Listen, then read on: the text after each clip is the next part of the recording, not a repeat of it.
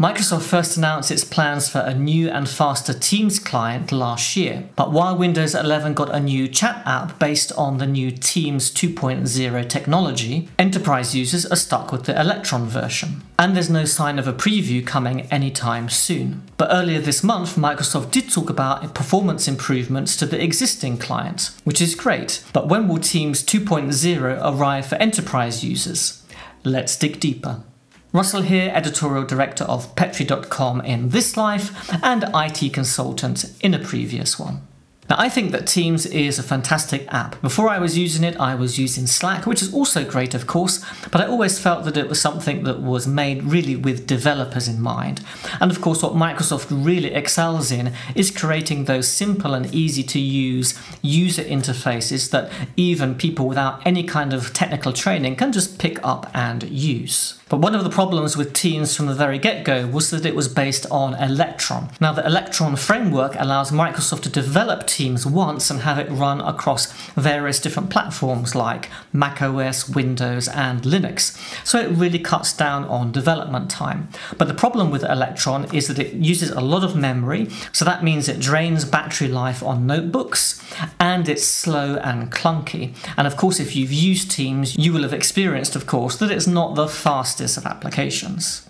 Some people point out, of course, that Visual Studio Code, another really popular app from Microsoft that's also based on Electron, doesn't receive the same complaints. But in my experience, Visual Studio Code is also a little bit slow and clunky. It's definitely not also the fastest app.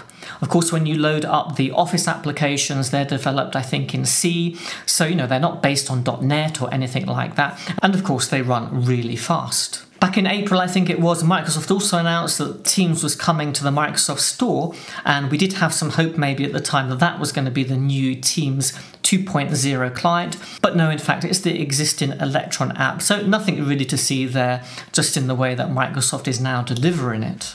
Earlier in June, Microsoft did however list a whole load of performance improvements that they've made to the existing Electron Teams app, including 63% faster opening of a new message box, 11.4% faster scrolling through a chat window, and a whole load of other improvements. I won't bore you with all the details. I'll put a link to a description of all of those improvements that you can see for yourself in the description for this video below. But I have actually noticed that, you know, it does seem to be a little bit snappier than it was in the past. Especially on my notebook, for instance, it seems to be more power efficient. And that could be, of course, because of some of the improvements Microsoft has made to performance recently. So what about Teams 2.0? So Microsoft announced this last year around the same time that they announced Windows 11. Now, why is Windows 11 important here? Because Windows 11 has a new app called Chat. And what maybe you don't realize is that the technology that's used behind the chat application is Teams 2.0. So this is a new version of Teams that is based on Edge WebView 2. So it's not based on Electron anymore it's based on the built-in rendering engine that Microsoft uses inside of Windows for its Edge browser, and other applications can take advantage of it. Now what that means for you and I is that Teams will run natively in Windows and it will run much faster, without any of the Electron framework bits and pieces that are required today.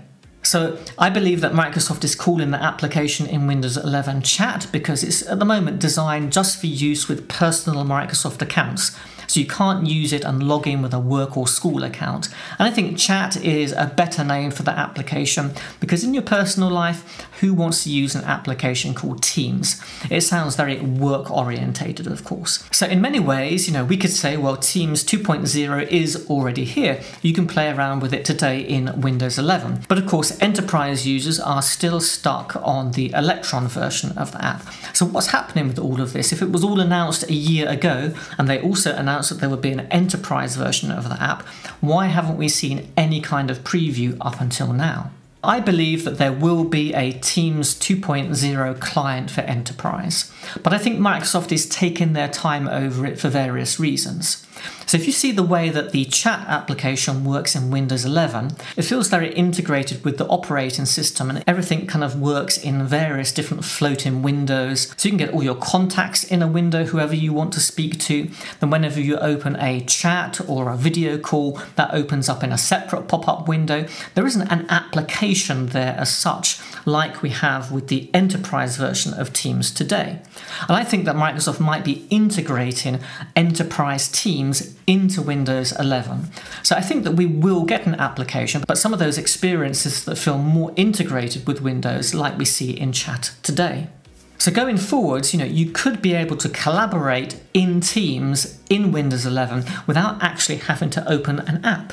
We also know that Teams app integration is coming with Outlook. We also know about Microsoft Loop, which basically allows you to create components that previously you would have needed to open a particular application. For instance, if you want to create a table uh, with numbers, then you need to open Excel. If you want to create some text, then you need to open Word.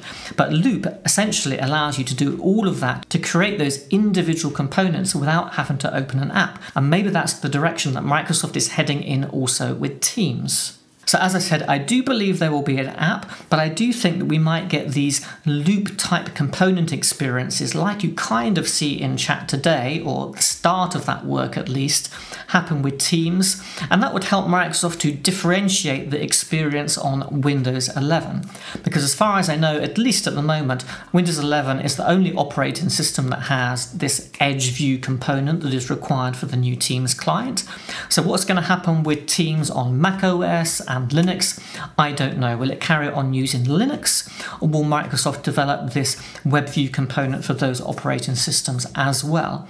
But whatever you get in Windows 11, I do think it's going to be a slightly different and potentially experience that's always a few steps ahead of what you're going to get on any other platform. So, could Teams become the enterprise platform of the future? Because there are already a lot of line of business apps that are already running inside Teams. You know, Microsoft have got their own examples, like Viva, for example, and other applications already run inside Teams and integrate with it to a certain extent, like Planner and Lists, of course.